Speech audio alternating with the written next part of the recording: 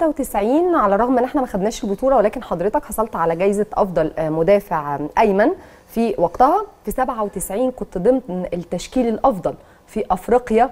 كلمني عن شعورك. أنتوا جايبين الحاجات دي منين؟ إحنا إحنا لا يا كابتن التاريخ بيتكلم عن نفسه. ربنا يخليك.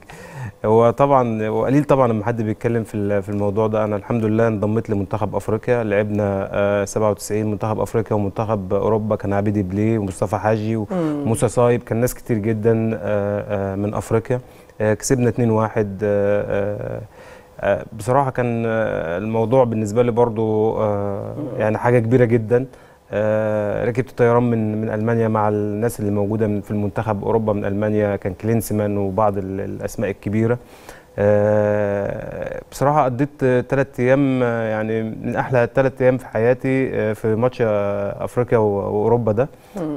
وخاصة إن إحنا توجنا بالمباراة دي كانت حاجة كبيرة جدا وأنا بعتز بيها يعني.